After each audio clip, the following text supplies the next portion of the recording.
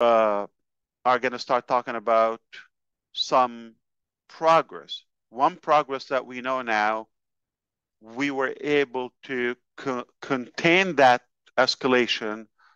People feel more comfortable working with me directly.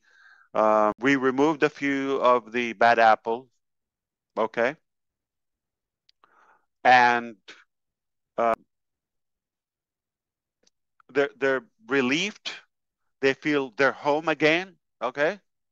And we're more productive.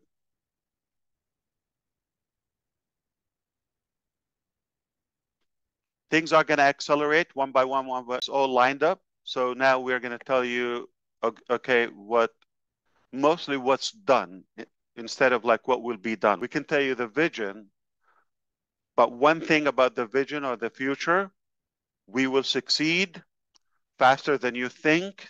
Okay. We're going to not only be back on track, we're going to not revive only, we're going to thrive again. And we will impress you the way that I always wanted to do.